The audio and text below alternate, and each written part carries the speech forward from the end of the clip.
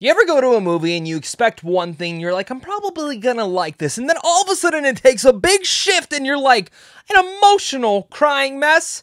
My old ass will absolutely do that to you.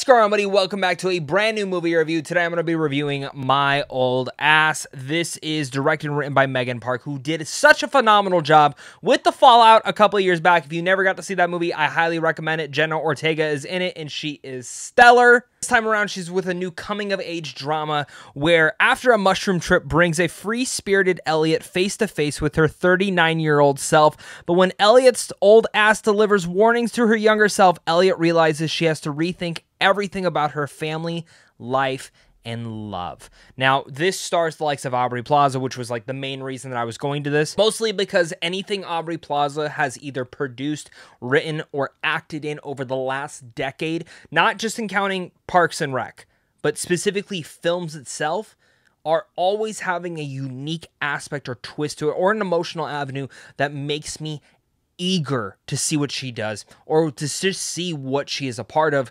And I can see why she signed on to my old ass. But the biggest surprise of this entire film was the actress Maisy Stella who did such a phenomenal job in this. That's about as much as I can say about the story without getting into spoilers, but I am very excited to be talking about My Old Ass today. So make sure to leave your thoughts down below, hit that like and subscribe button, definitely support the film in theaters. If you love movies so much, these are the type of movies you should see.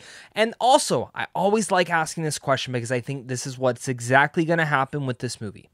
If you are watching this and you got a chance to see it in theaters, please comment down below and let me know your thoughts if you got to watch it but not in theaters and you saw it at home on streaming, let me know. I think this movie is going to go down as one of those underrated films and probably I think as of right now will be the most underrated movie of 2024 because it feels like it came out of nowhere. But with every movie review, I love talking about the pros, so let's dive right back into that. And the number one thing I want to mention again is Maisy Stella, who absolutely was phenomenal in this. Plays a young 18 year old who really fits for this generation in every sort of avenue.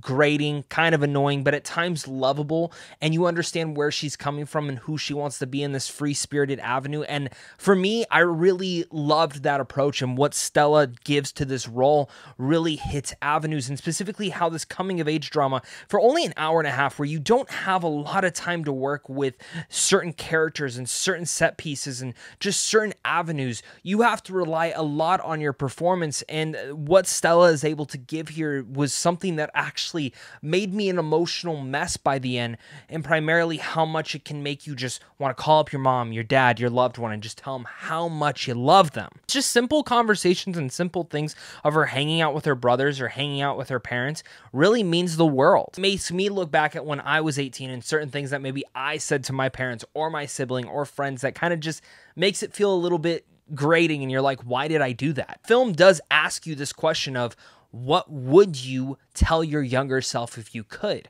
And I think for me, like if I were to go back, there's like multiple things that you would want to tell your younger self, not just like the financial stuff. You'd be like, invest in this. No, like specifically good advice. And like one thing is, is like other than just investing in something, you would, I would want to tell my younger self, like, invest in yourself. Like you love movies so much. Why are you not doing this earlier. And that's one thing that i wish i was doing earlier was youtube and talking films and studying movies a little bit more.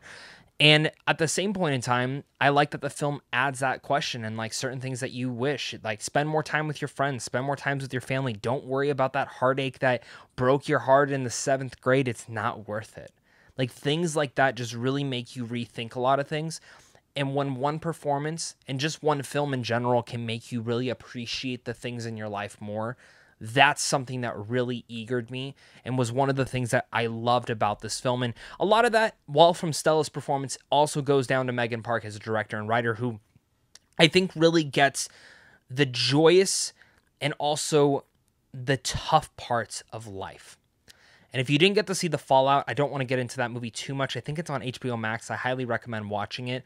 But that film showcases something, a different aspect of appreciating life when you go through such an event that could completely upend it and you have to relive the fallout.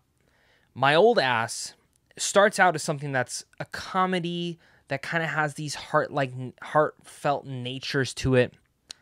And you know, when I read that it was like them taking a mushroom and then, you know, all this stuff happens, I wondered how that was going to play out. And the way that Megan Park's writing, directing for it, everything never asks makes you ask the question of like how is she continuing to talk with her older self? And there's little hints, and we'll talk about that more in my mixed aspects of how I might think that might ruin some people's viewing points, but I really liked how she overall told that part of the story and how that kind of worked and how it really didn't matter. The thing that mattered was appreciating where you are in life now. And I think sometimes while the film is about an older version of herself telling herself her younger self stuff that would have maybe helped things, the vice versa on that is sometimes we can actually learn from our younger selves or just younger people. And that's something that I don't think a lot of us take for granted. I think a lot of us look for where we are at right now and what we want in the future, but none of us ever look back in time and appreciate those smaller moments and appreciate the now of what we have. And it's really unique to see how this film can get that emotion out. And alongside that, Aubrey Plaza, who's not in here as much. A lot of it is more of her voice. And guys, I apologize. I, I think I have a tear in my eye. Holy shit. Um, but Aubrey Plaza is not in this lot. It's a lot more of her voice. But the first first time you see her, she's great.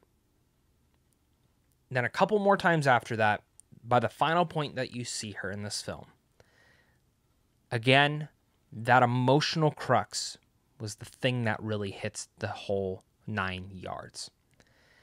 And it's some things are a little bit predictable, but either way, shape and form, whether whatever you're trying to bring to light, Megan Park is the writer and director, deserves your voice.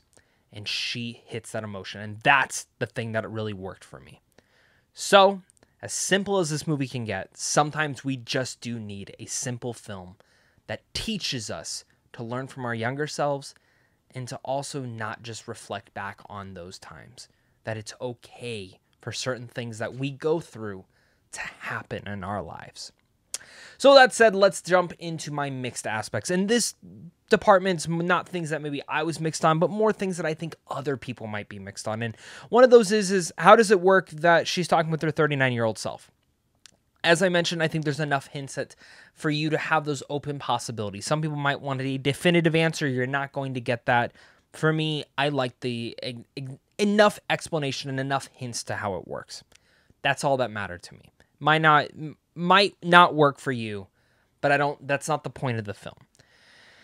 Alongside that, there are certain predictable avenues and certain things that I wish maybe they would have touched on a little bit more. More family bonding times, things like that. But this is a smaller independent movie that I wasn't expecting any of those natures but some people might be. That's where I have to say My Old Ass will go down as probably the most underrated movie of this year. And I hope I'm wrong for that. I hope everyone gets a chance to go and give a shot to this movie because this is a movie that a lot of people deserve to see and will make you reflect on your current self right now. I cannot believe how good this movie was. I genuinely couldn't.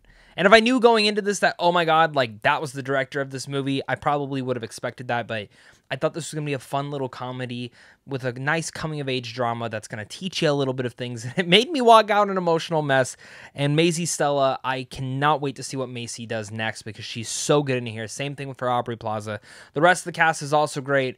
But overall, I really loved My Old Ass. I hate that that's the title, but it makes so much sense. But I love this movie, and I think a lot of you guys will as well. So, with all that said, I'm going to give My Old Ass an A.